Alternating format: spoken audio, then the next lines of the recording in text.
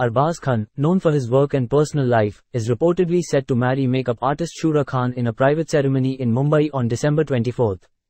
Sshura, with a background in film and television makeup, met Arbaaz on the set of their upcoming film, Patna Shukla, produced by Arbaaz. The intimate ceremony will be attended by close friends and family. Sshura Khan, who keeps a low profile despite her significant body of work, has a verified Instagram account with over 13,000 followers. Her private account offers glimpses into her professional collaborations, including with actress Raveena Tandon and her daughter Rasha Thadani. The couple's film, Patna Shukla, directed by Vivek Budakoti and featuring notable actors, is set for release next year. Arbaaz Khan's past relationships include a marriage with actress Malaika Arora, which ended in divorce in 2017.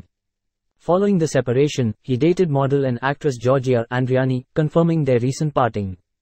With Arbaaz and Sshura's impending nuptials, fans hope for a joyous and lasting marriage for the Bollywood actor.